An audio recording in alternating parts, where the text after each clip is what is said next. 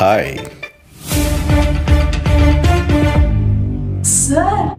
చిరునవ్వు ముఖానికి అందం. కానీ ఇప్పుడున్న ఈ పరిస్థితుల్లో ఆ చిరునవ్వు కలకాలం నిలవాలంటే ముఖానికి మాస్క్ ధరించడం ఎంతో అవసరం.